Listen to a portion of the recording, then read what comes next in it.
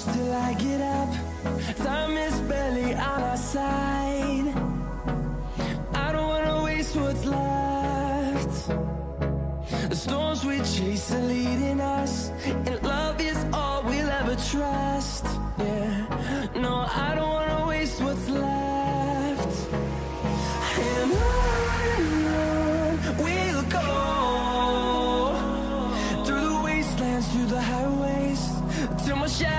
Turns sun rays. And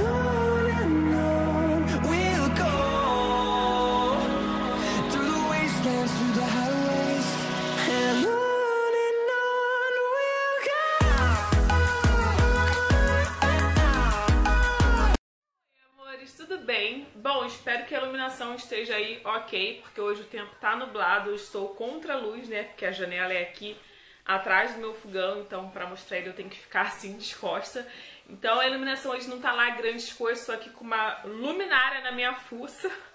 Mas acho que mesmo assim não tá adiantando muito. Bom, hoje eu vim fazer a resenha do fogão. Pra quem não viu, é, eu gravei de quando o fogão chegou, de quando eu comprei, tudo certinho. Eu esperando o fogão, que demorou. Que não demorou, vai. Eu expliquei tudinho direitinho, tá? Vou deixar o, o link aqui no card desse lado.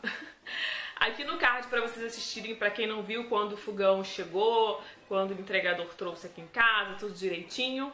E aí desse vídeo eu comentei, perguntei se vocês queriam ver uma resenha mostrando direitinho o fogão, como ele é, quanto eu paguei, aonde eu comprei. E vocês comentaram nesse vídeo dizendo que queria. Então hoje vim mostrar tudo pra vocês, vim contar tudo quanto que eu paguei, que foi um preço super bom assim que eu achei. Então eu vim contar tudinho sobre esse fogão, a marca, modelo, tudo pra vocês, tá? Mas antes eu quero pedir pra vocês pra já deixar um like aqui nesse vídeo, se vocês gostam desse tipo de vídeo. Porque assim, gente, o YouTube, ele não tá entregando os vídeos pra quem é inscrito aqui no canal, tá? Se você é inscrito no canal e não está recebendo notificação de quando eu libero o vídeo, então, o YouTube tá assim, ele só recebe, pelo que me falaram, né? Teve uma seguidora amiga que me falou que o YouTube ele não tá enviando notificação para as pessoas que não interagem no vídeo. Para quem não deixa um like, nunca deixa um like, para quem nunca comenta alguma coisa. Então, agora o YouTube tá assim, só envia para quem interage no vídeo. Então, eu já vou pedir aqui para você, se não ativou o sininho, ativa o sininho que tá escrito aqui do lado de inscrito, né? Se você já se inscreveu, pelo amor de Deus. Não tá inscrito ainda? Então se inscreve primeiro, mulher. Como assim não tá inscrita? Se inscreve, tá? E aí, pra quem se inscrever agora, já vai ativar a notificação automaticamente. E aí, gente, deixa um curtizinho aqui embaixo pra mim, gente. É super fácil, não te custa nada, nunca te pedi nada. Vai aqui, dá um like e comenta alguma coisa. Mesmo se você tiver com preguiça, se você não quiser comentar nada, não quiser falar comigo, não tem problema. Deixa uma carinha, um sorrisinho. Ou se não gostou, uma carinha borrada, não sei. Deixa um coraçãozinho, qualquer coisa aqui nos comentários. Pelo amor de Deus, interage nesse vídeo pro YouTube voltar a enviar as notificações aqui pros inscritos, tá bom? Por favor. Agora sim, vamos continuar aqui no nosso vídeo. O fogão é da Consul. Ainda não vai dar pra ver, né? Mas tá aqui o Consul.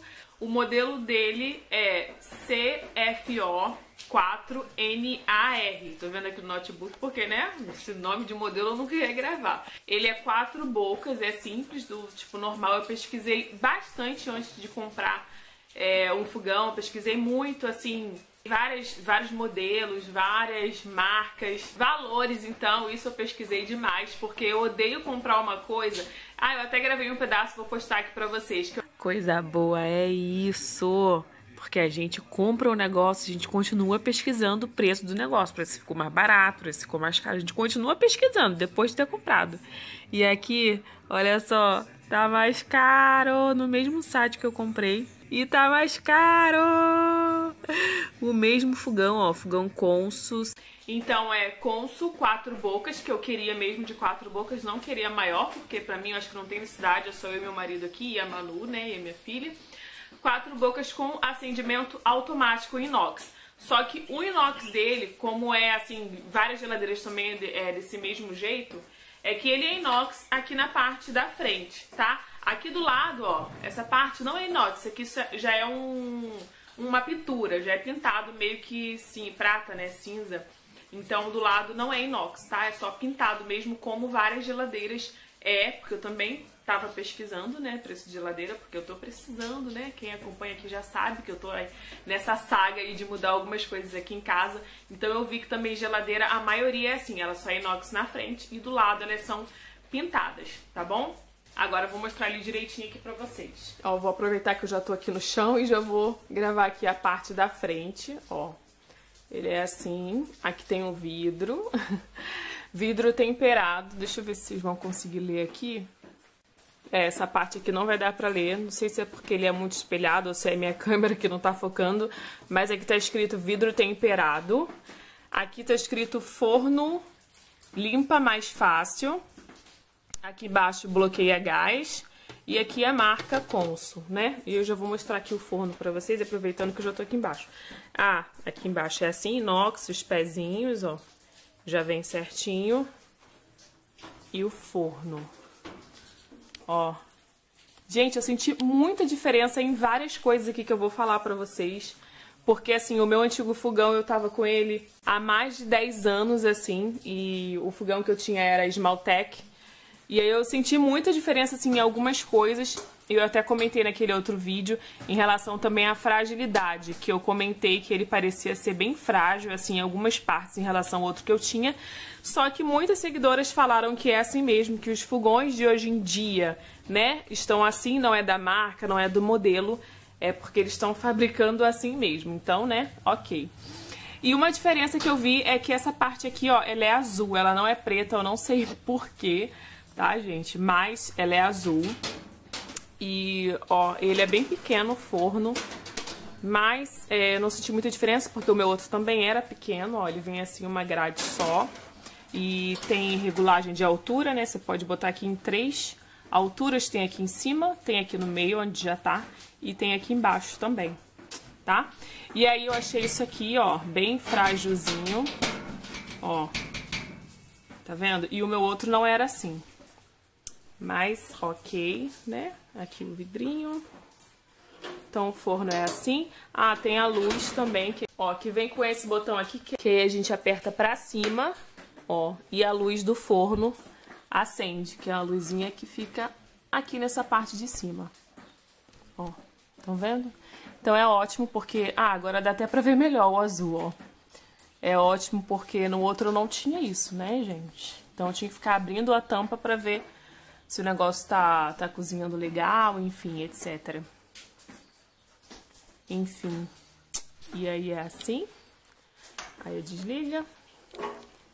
Agora eu vou mostrar pra vocês a parte de cima. Aqui ele não tem aquele hum, puxador, né? Aqui ele é assim, ele é retinho. E tem um lugar pra você botar a mão aqui por baixo e abrir, ó. Não tem aquele puxador assim por fora. E aqui na parte de cima, ó, normalzinho. Tem aqui as grades. Eu até gostei que é grossinha. Tinha um que eu tava vendo nas lojas, uma marca da Consul que era fininha essas grades, mas graças a Deus aqui veio grossinha assim, ó. E aí, ó, os botões dos acendedores. Ele vem com aquele bloqueia gás porque ele é assim, você não é só você rodar. Você tem que apertar para baixo, né? O meu antigo é, não era assim do jeito que é, até eu apanho um, um pouquinho para ligar o forno, que tem que ficar um pouquinho segurando assim, porque isso é uma trava de segurança, né? Mas é um pouquinho chato, né? Porque você você segura, ó, você aperta você roda, você fica segurando, ao mesmo tempo você aperta aqui para acender.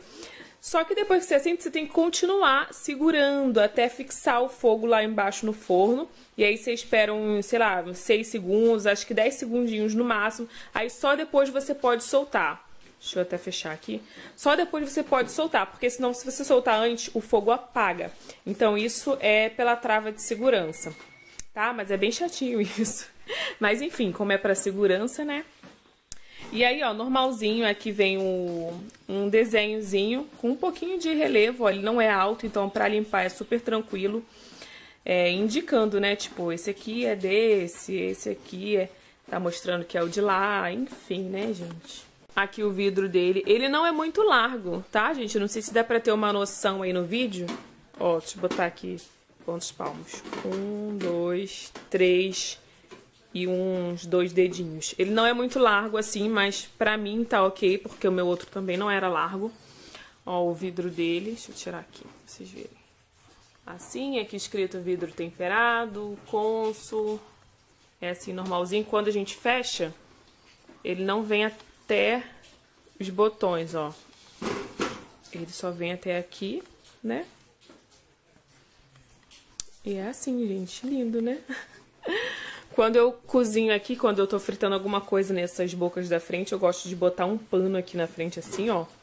Mas cuidado, gente, pra não botar fogo aí na casa toda. No pano e na casa, né? Ai, tá caindo. Eu boto um pano aqui só nos botões aqui, ó.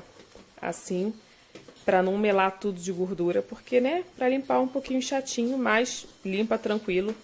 E é, mas é bom pra conservar também, pra não cair aqui sujeira pra frente, que entrar na tampa do forno, enfim.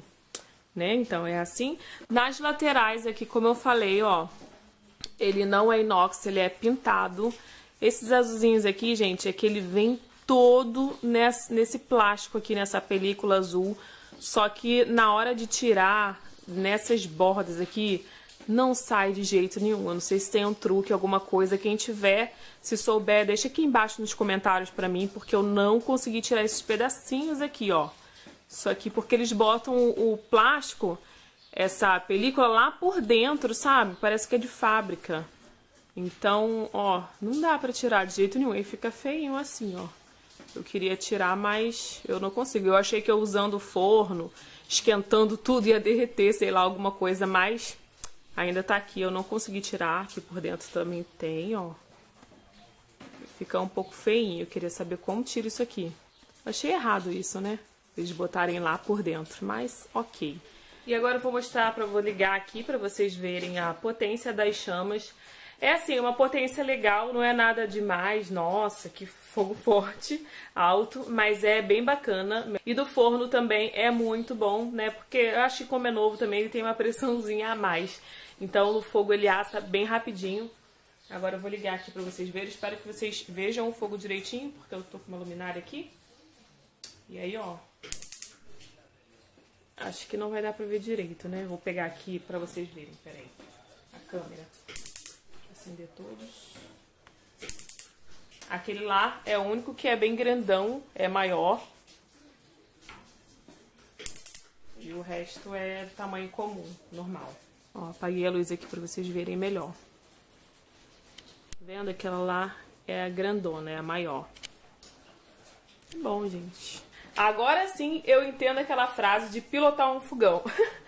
Porque é muito legal, gente. Desculpa, eu não tô acostumada com isso. Eu sou pobre oficial, né? Como eu já falei. Mas eu achei muito legal essa, isso aqui de você rodar e apertar aqui ao mesmo tempo. Parece mesmo que você está pilotando alguma máquina. Então agora aquela frase de pilotar um fogão faz total sentido. Ai, gente, que besta? Então, já mostrei ele todo, agora eu vou falar onde eu comprei, preço, tudo mais, frete. Vamos lá. Eu comprei ele no site das Casas Bahia. Primeiro eu procurei em várias lojas físicas, mas o preço sempre, né, 800, mil reais.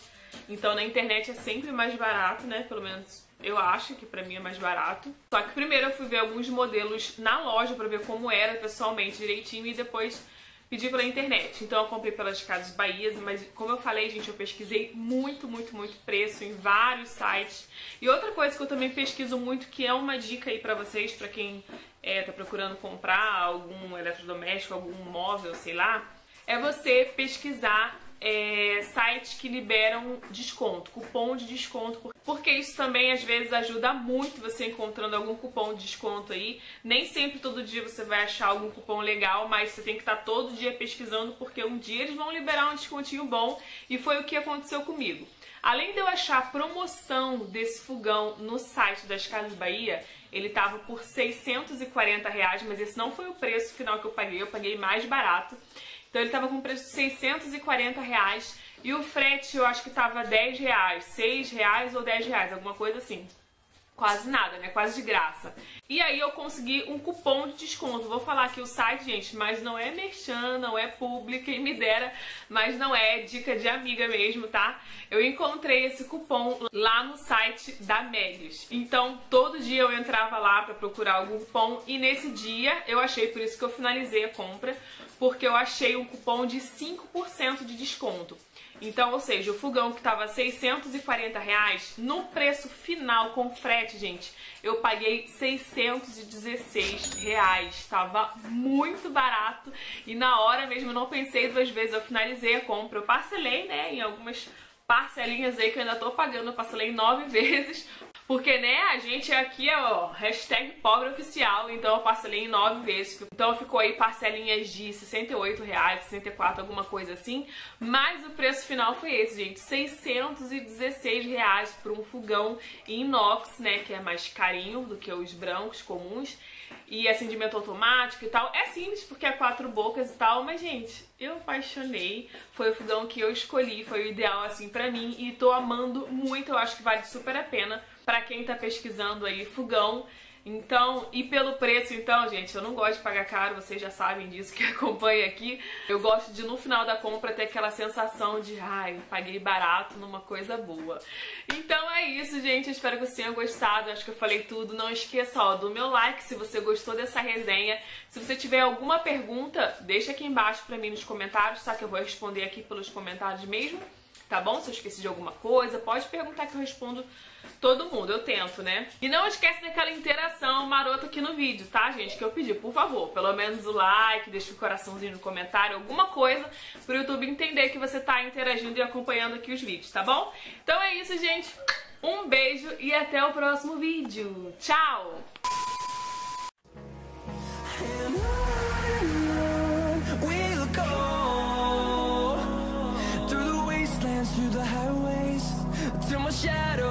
sunrise